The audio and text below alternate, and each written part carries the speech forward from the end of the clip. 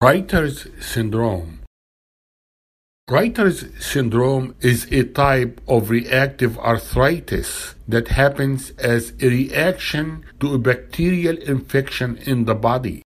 It has the following components urethritis, conjunctivitis, and joint arthritis or reactive arthritis. Patient cannot pee, patient cannot see, patient cannot climb a tree. It's characterized by urethritis. It hurts to pee. Inflammation of the urethra, with the most common symptom being painful or difficult urination. Conjunctivitis, inflammation of the outer membrane of the eyeball and the inner eyelid. The eye itself is not infected. However, the immune system is acting as if the eye is infected. Joint arthritis or reactive arthritis, it is asymmetrical. The knees and the joints of the ankles and feet are the usual targets of reactive arthritis. Fluid culture is negative for infection. That's why the saying, I can't pee because of urethritis, I can't see because of a conjunctivitis, and I can't climb a tree because of the joint arthritis. How this happen? The infection enters the body and triggers the immune system. There will be an immune response. The immune system creates antibodies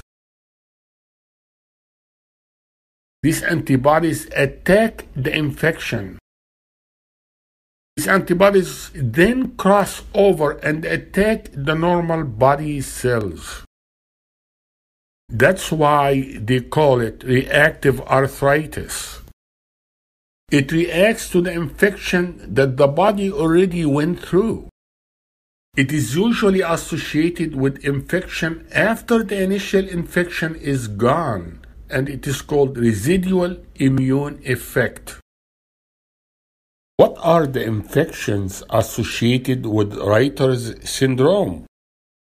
They are GI infections such as Salmonella and Shigella, GU infection such as gonorrhea and chlamydia. It occurs in young men some people are more susceptible to get Reiter's syndrome than others. Most cases resolve within weeks, but may last longer. Recurrence occurs in about 50% of patients.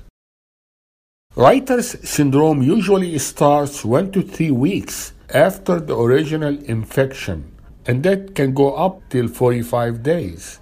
The patient is usually seronegative spondyloarthropathy, which is in the same family of disorders such as ankylosing spondylitis and psoriatic arthritis. 75% of patients are positive for HLA B27. Remember that in a test exam, they may test you on a patient with Achilles tendon pain, Achilles tendonitis, with heel pain, plantar fasciitis, and its association with Reiter's syndrome. Also remember that Cipro is antibiotic that is used to treat bacterial infection can cause rupture of the Achilles tendon. Treatment of Reiter's syndrome, symptomatic treatment, observation, antibiotic for the underlying infection, steroid for severe cases, Reiter syndrome is not gonococcal urethritis. Thank you very much. I hope that was helpful.